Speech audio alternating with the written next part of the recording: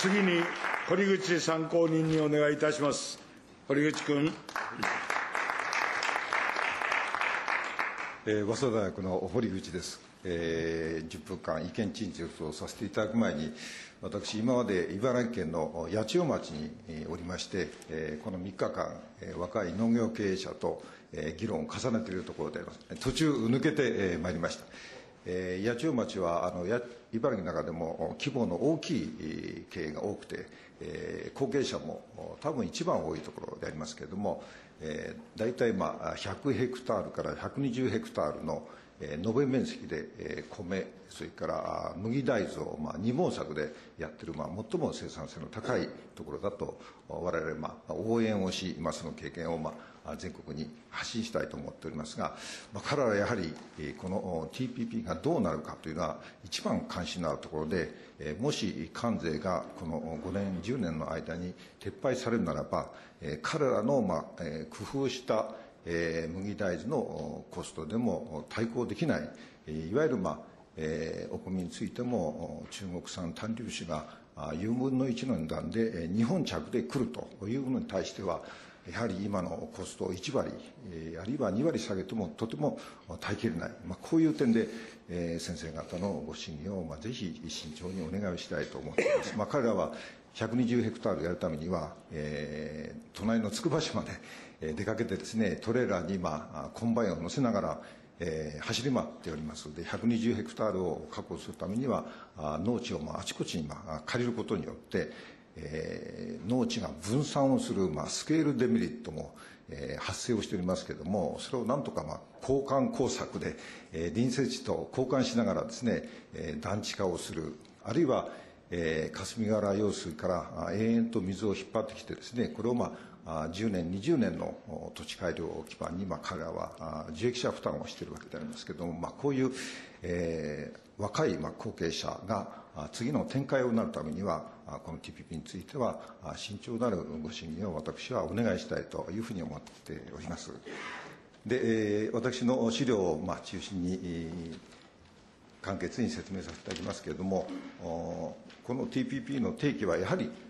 極めて唐突な形で出てきた。今まで日本の FTA 交渉は、えー、関税を撤廃しない形で、約1割を除外品目にしながら、えー、各国とまあ交渉をまして、えー、重要な農産物を守ってきたわけであります。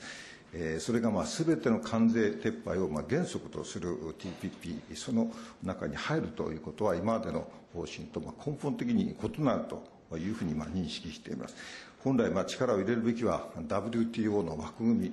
その中でまあ重要品目と一般品目をまあいかにまあ、えー、落着し、まあえ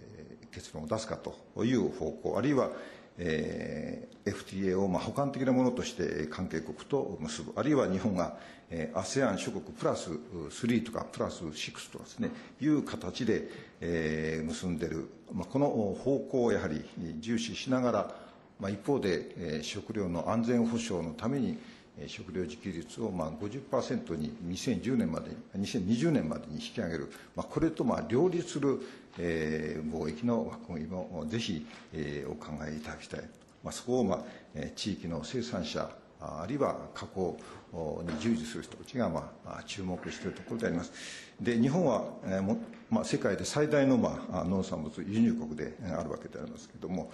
一方で、えー、日本の農業を守らないかんということでご承知の通り、まあ、二次関税を、まあ、高くしてえー、それを守っているわけで、まあ、そういう意味では一次関税、まあ、ほとんどがゼロでありますけれども小麦あるいは餌用トウモロコシ大豆等を、まあ、世界でも大量に今入れてる、まあ、そういう中でそれ以上のものについては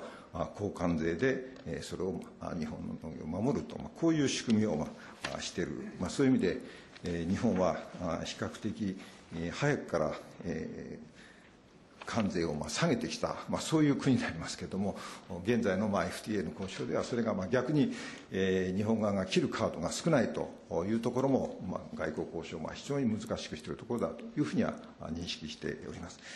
で、WTO が認める輸入規制は、ご承知のように、まあ、基本的には関税だけであります。で一方で、輸出国側は日本側が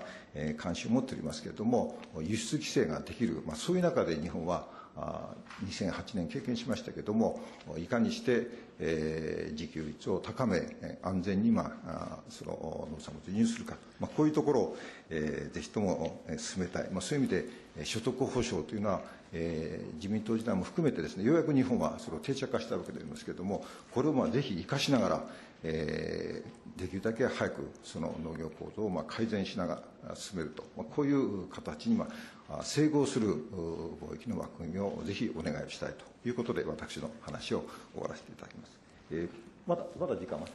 どうぞ、まだそうですか。はい、僕は今のベルが、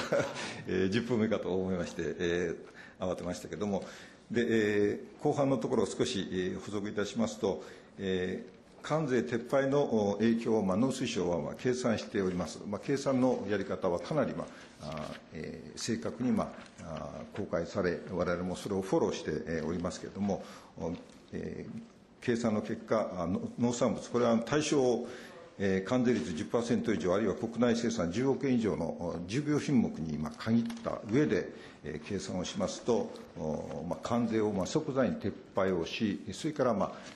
今を上回る所得保障等をしないという前提で計算すると、4兆1000億の生産減少で、結果として自給率が40%から14%に落ちる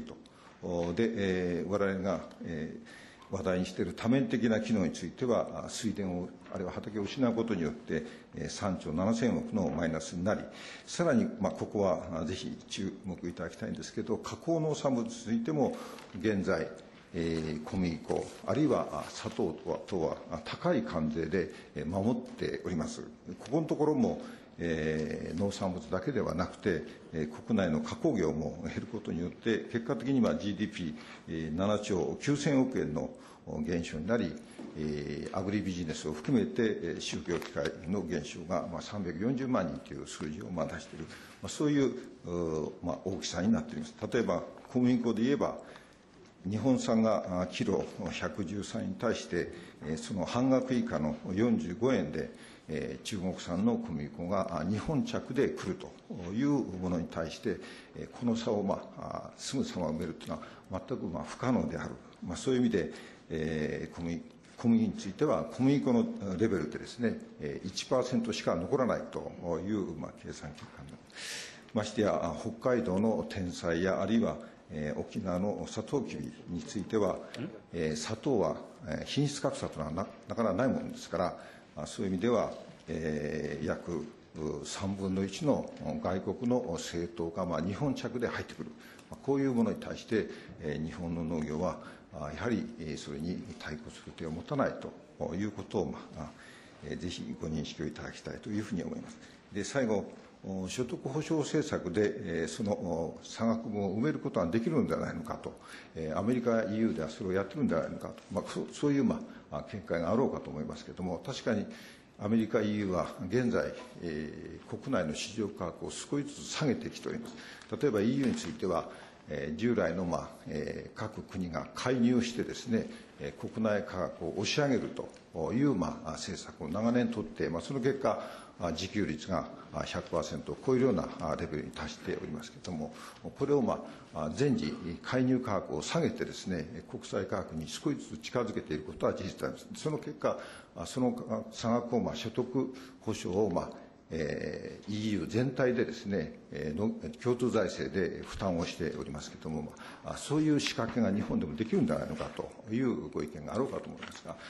現在の、まあ、個別所得保障の約えー、8000億から9000億のレベルも、これも、えー、その差を補填するわけでありますけど、これはあくまでも、えー、あるべき生産費と、この現在の国内市場価格との差額を補填しているわけでありまして、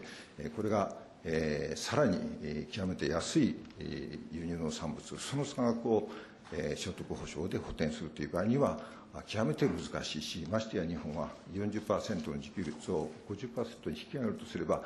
その財政負担はもうとても、まあ、想像できないくらいの大きさになる、まあ、そういう意味で、えー、所得保障で、えー、このダメージを、えー、吸収できるんじゃないかということについては、極めて難しいというふうに思っております。まあ、そういう意味で、えー、この、まあ、非常に重要な問題をぜひとも、まあえー、慎重に検討いただきたいということをお願いして、私の事実をどうもありがとうございます。ありがとうございました。